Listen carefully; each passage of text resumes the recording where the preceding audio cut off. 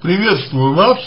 А, я прочитал ваш вопрос и готов а, дать на него ответ. Постараться дать на него ответ. А, Во-первых, я прочитал ответы коллег на ваш вопрос. И хочу сказать, что наиболее э, правильным показался мне ответ э, Бориса Пустинского, э, который сказал вам о том, что если вы сделали аборт, значит, подсознательно вы были не готовы к материнству. Тем не менее, тем не менее, а, я не думаю, что ну, можно как-то вот ограничиваться только цитированием, цитированием э, ответа своего коллеги, поэтому я э, постараюсь, разобрать ваш вопрос э, более подробно. И э, в процессе разбора буду давать какие-то комментарии, которые, ну, надеюсь, помогут вам э, понять какие-то для себя вещи, может быть, э, натолкнуть на мысли, либо подвигнуть вас на более детальную проработку того, что с вами сейчас происходит. Итак, э, неделю назад пишите вы, э, я в горячке сделала аборт. Мне 28 лет. А, пожалуй, нужно сказать, что нужно сказать, что вам 28 лет, вы молоды. И да, сейчас вам плохо, сейчас вам тяжело, но это опять же истерика. Это опять же горячка. То, что вы пишете, пишете в конце, что я не хочу больше жить, я не верю, что полюблю кого-то, смогу иметь детей, это та же самая горячка, что и породила вас, э, что и, э, простите, сподвигло вас сделать аборт. Вот вы подумайте на эту тему. Если вы сделали абор аборт, думая, что э, вы и ребенок никому не нужны, или что вы не имеете права обязывать мужчину э, платить за нежеланного ребенка, если вы думали так, и если вы теперь считаете, что это неправильно, что вы думали неверно, то точно так же, по аналогии, вы неверно думаете, что вы никого больше не полюбите и так далее. Кроме того, любовь и э, возможность иметь детей не зависит от веры. То есть то, что вы верите или не, не верите, это не важно. Это существует помимо, помимо вас. Я э, скажу честно, что не медик, но не помню каких-то подтверждений того, что из-за аборта нельзя иметь детей. Ну и ваш опыт вроде как это подтверждает. Далее. Вы пишете, что 8 лет назад э, я уже делал аборт, но там обстоятельства были такие, я не жалею. Ну, вы об этом написали, я, соответственно, должен это прокомментировать и скажу, что да, вы не жалеете об этом, но для вас, скорее всего, это было травматично. То есть, может быть, вы э, по-прежнему вините себя за то, что сделали аборт тогда, и, возможно, считаете себя, опять же, недостойной матерью, что подсознательно и толкнуло вас на аборт сейчас. Далее. Э, сейчас это был желанный ребенок, я молилась, чтобы жизнь э, подарила мне ребенка, мужчину, от которого забеременела, очень любила и люблю. То есть здесь вы говорите о определенных предпосылках к тому, к тому, что вы делали, да, к тому, что вы сделали, вы пишете, что хотите, охватили ребенка, что вам это было нужно и так далее. Далее вы пишете, с ним мы вместе не живем, будущее не, не планировали. Здесь как бы сразу возникает вопрос. Если вы мужчину любите, э, любили и любите, но вы не живете вместе, и будущее совместно не планировали, то откуда между вами интимная связь, в результате которой появился ребенок? Откуда связь, если вы не жили вместе, если вы не планировали будущее? Почему вы связывали свою жизнь с этим человеком и почему вы вступали с ним в интимную связь? Зачем? Тем более, что он говорит, что не бросил бы вас, то есть ладно бы вместе он жить по-любому не, не, не стал бы. Что двигало вас э, вступать в интимную связь? Низкая самооценка, страх, страх остаться одной, еще какая-то потребность. Подумайте, пожалуйста, об этом. Далее, э, значит, я была рада, э, ну, беременности, мужчина сказал, что детей не хотел вообще, но готов помогать.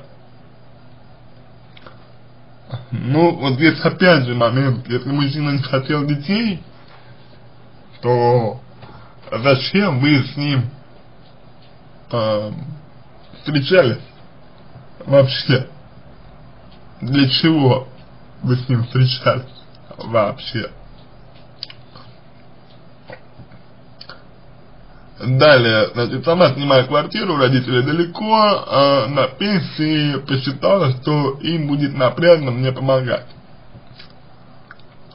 Так, э, здесь вы берете ответственность на себя за других людей, да?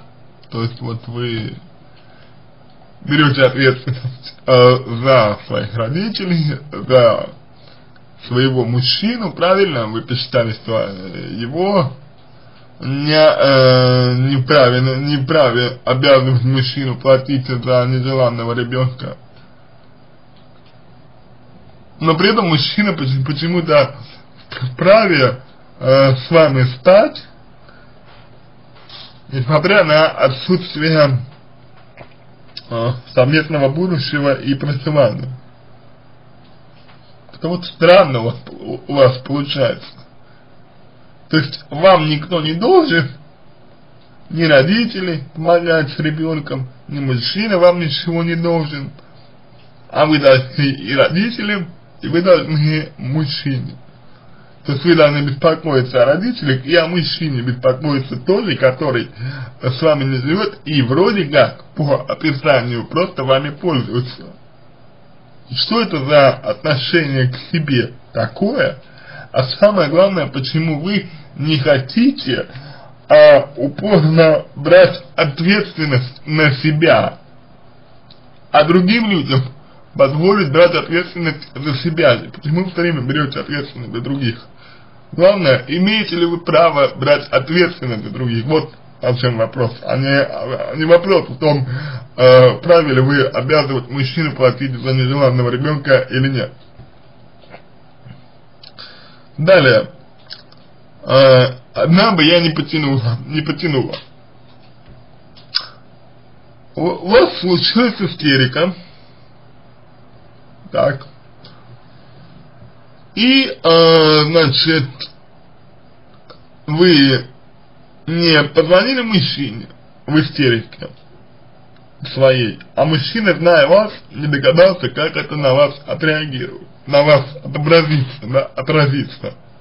Хотя мог, мог бы, зная вас. Наверное, вы рассказывали ему о том, что вы сделали аборт. Но опять же, если нет, то он, он вас знает, и если бы вы были ему дороги, как вот, вы говорите, то он был бы с вами. Даже если бы он не хотел э, быть с вами, э, вот, и не хотел детей, то просто успокоить вас, это его обычная мужская обязанность. Тем не менее, вы были в истерике одна, и пошли, пошли и сделали аборт. То есть в истерике, в аффекте, вы решили сделать аборт, а не доверить не довериться родителям и не довериться э, мужчине. Почему вы это сделали? В состоянии аффекта вы взяли, наконец, ответственность за себя, пошли и сделали что-то сами. Здесь я вижу э, попытку про, про, проявить собственную значимость таким образом. Да, с чудовищной ценой. Да, пострад, пострадал ребенок. Ага, да, это все так. Но опять же, поймите, происходит э, это из-за того, что вы постоянно берете ответственность за других. И вы не чувствуете своей значимости, ну, по крайней мере, как это видится у меня, потому что вот и родители вот на пенсии, и мужчина вам ничем не обязан, хотя он с вами спит, да, то есть явно здесь вы постоянно думаете о других, о себе вы думаете вообще, ну, очень мало, если думаете вообще. И это плохо. Когда человек о себе не думает, он не чувствует собственной значимости. И за себя ответственности не, не, не несет. Здесь аффект, в аффекте вы прорывается, в аффекте прорывается то, что вы в себе э, сдерживали или подавляли. А подавляли вы именно собственную активность, нацеленную для себя, на себя.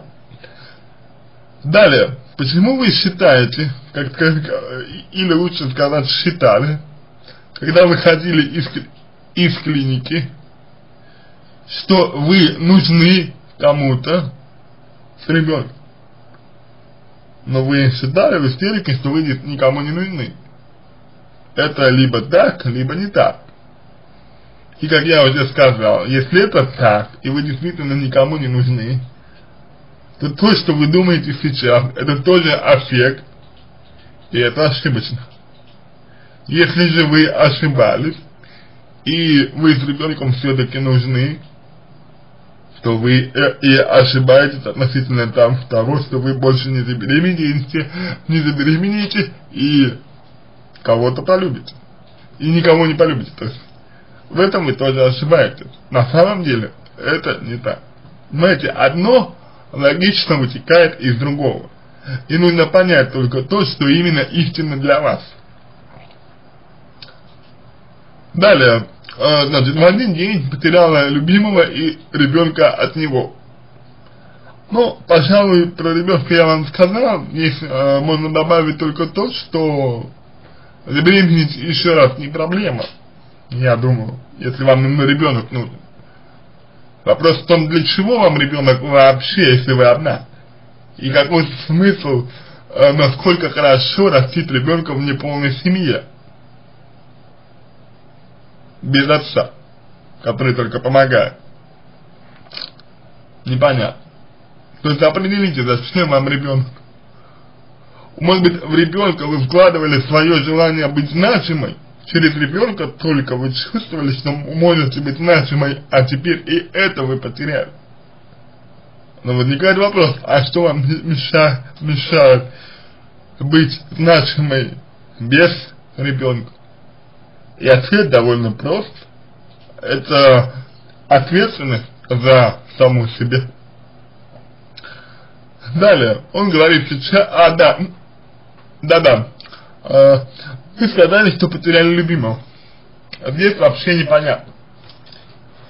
Если мужчина э, с вами не был, уже и вместе вы не жили, и будущее не планировали, то вы его уже и потеряли. Вы уже потеряли любимого. То есть вы его и не находили, он не был вашим. Далее, любимого потерять нельзя. Что это вообще за любимый? Такой, который не с вами, который с вами будущее не планирует, детей не хочет, только готов помогать. Вы вообще того человека любите? И уверены ли вы, что э, вы его любите?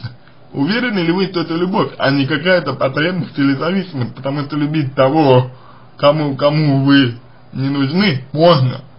Но забывать о себе и не двигаться вперед, и спать с тем, кто ведет себя так, как вот вы описали, но это определенная проблема с самооцен самооценкой и с вашей потребностной сферой, как и с эмоциональной сферой тоже проблема.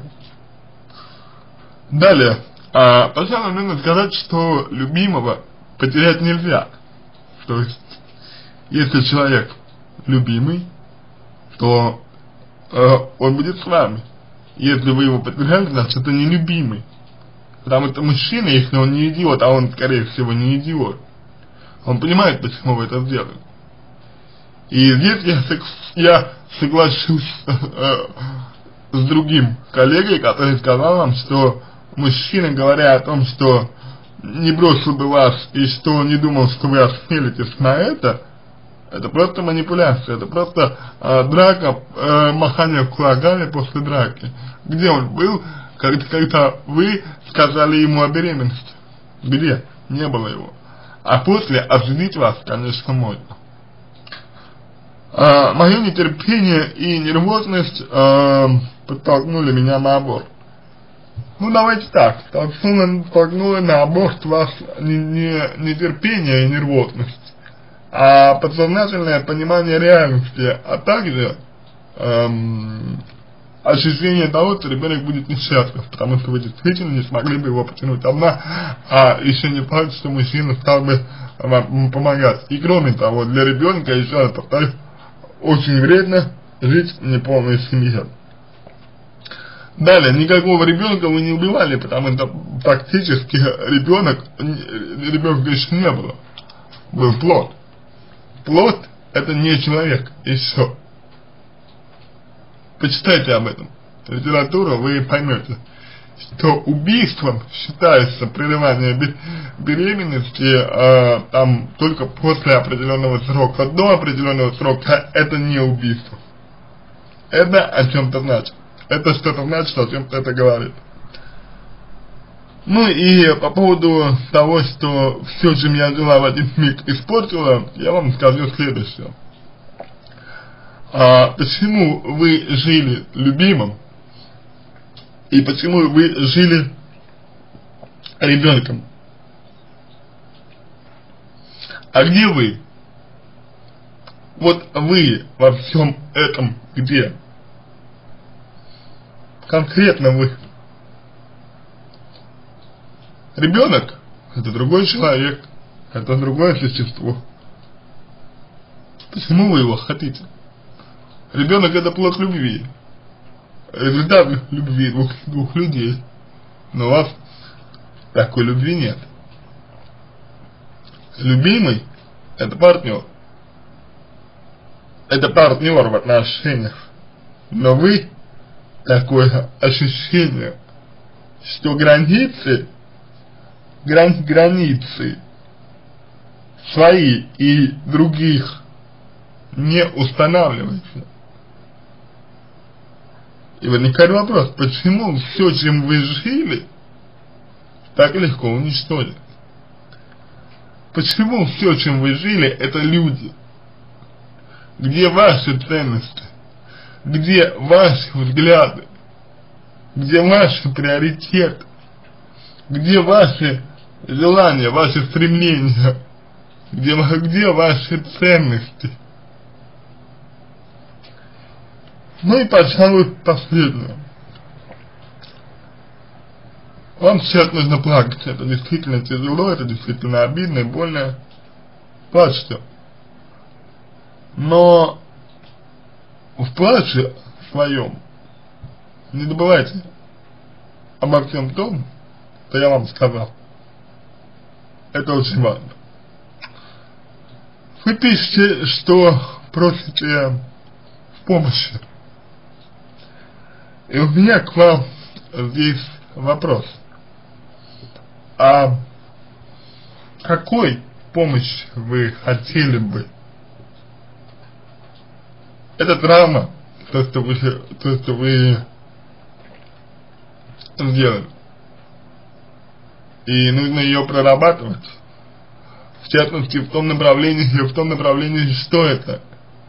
Либо ошибка, то есть, если вы говорите, что, вот, например, э, как, как я вам говорил, да, что вы в истерике пошли и сделали аборт, а сейчас вы думаете, что вы не верите, что можете кого-то полюбить и что у вас будут дети. Вот. Либо вы ошибаетесь, и как в истерике сделали ошибочное действие тогда, э, и, соответственно, это было неправильно. Так вы думаете неправильно сейчас либо вы э, поступили так, как вы считали нужным, и тогда вы никого не потеряли, на самом деле. То есть вы действительно были не нужны, вы действительно не потянули бы, вы действительно поступили единственно верным образом.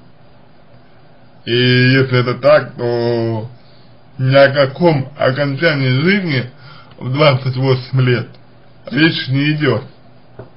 Речь идет о более осознанном поведении с вашей стороны. Речь идет об ответственности, которую вам нужно брать на себя, а не, а не за других. И речь идет о собственных желаниях и о границах ваших. Вот с этим можно с вами поработать, если у вас есть желание. Потому что помощь, пом помощь как таковая, э, психологическая, заключается в том, чтобы консультироваться, то есть консультировать вас, то есть вам общаться с психологом. На этом все. Надеюсь, что помог вам.